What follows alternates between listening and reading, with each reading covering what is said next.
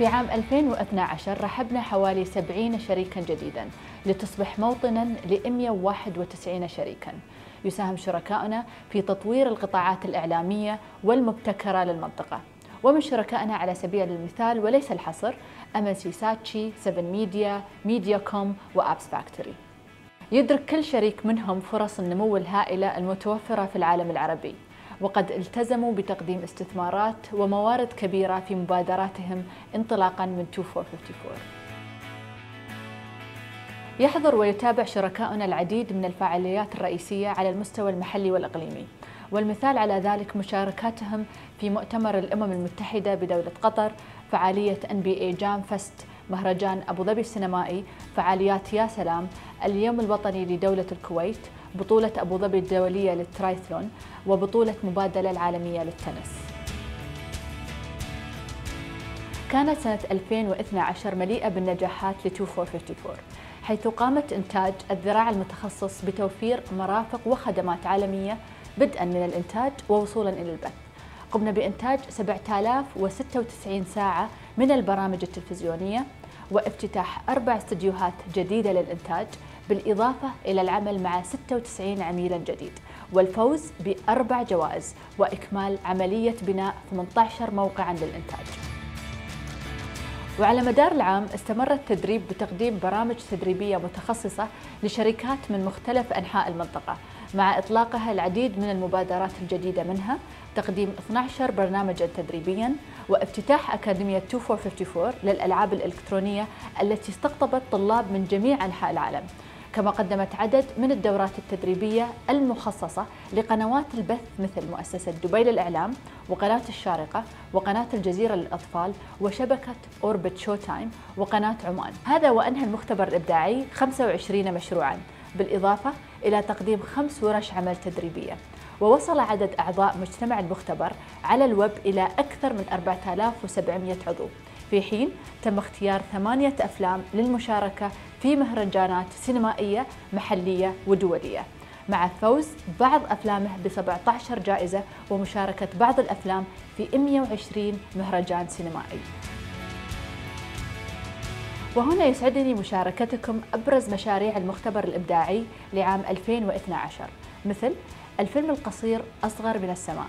قام المختبر الإبداعي بتمويل فيلم عبد الله حسن أحمد وعرض الفيلم لأول مرة في مهرجان أبو ظبي السينمائي 2012 وحاز خلالها على جائزتين. وأيضا الفيديو كليب يا خليفتنا أغنية خاصة بمناسبة اليوم الوطني لدولة الإمارات وهو من إخراج الإماراتي عبد العزيز أحمد.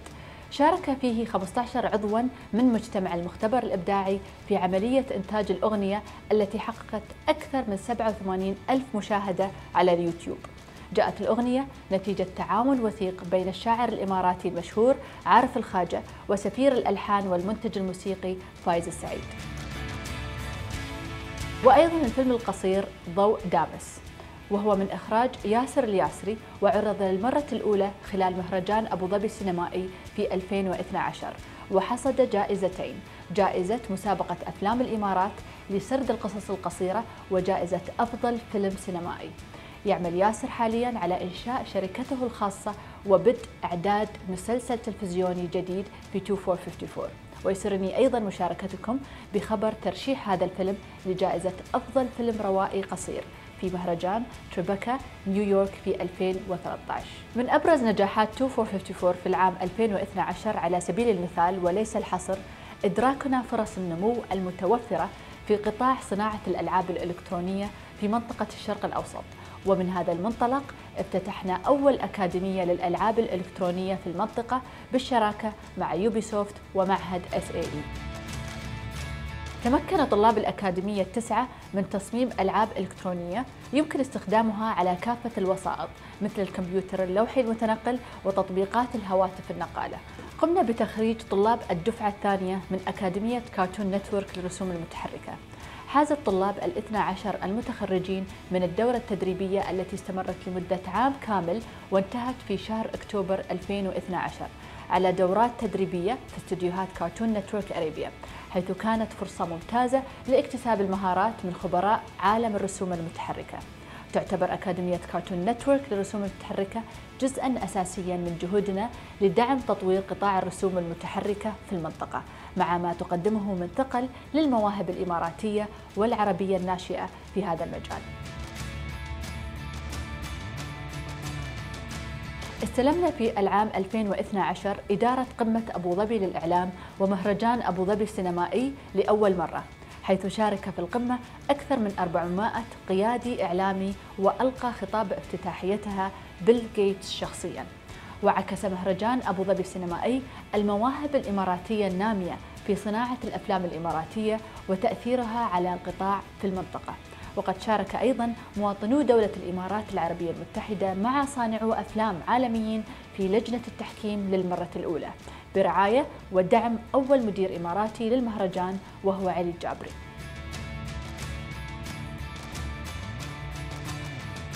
حضر آلاف عشاق الأفلام عروض مهرجان Tropfest Arabia بدورته الثانية على كورنيش أبو ظبي في شهر أكتوبر في 2012 تضاعف عدد الأفلام المشاركة في الدورة الثانية مقارنة بدورته الأولى في العام 2011 حيث تم اختيار الفيلم الفائز من بين 16 فيلما مشارك وذلك من قبل مدير المهرجان جون بولسون والمديرة المشاركة هند صبري.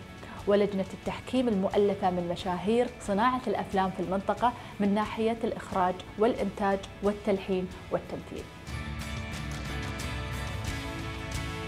في 2013 سنستمر بمتابعة أهدافنا طويلة الأجل لتشجيع الشباب العربي والإماراتي تحديداً على اختياره مجال الإعلام كخيار وظيفي مهم وشيق.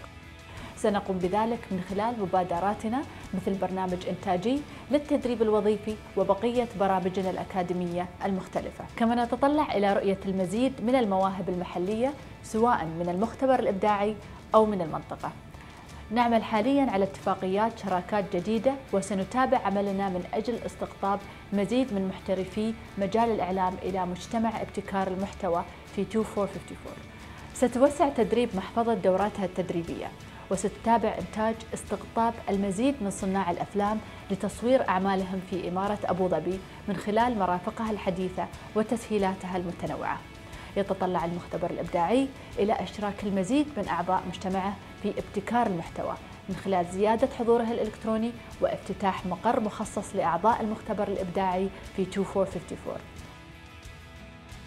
كما يطمح المختبر الإبداعي لأنهاء 35 مشروعا في العام 2013 منها مشاريع في قطاعات لم يعمل بها سابقا مثل الألعاب الإلكترونية والنشر.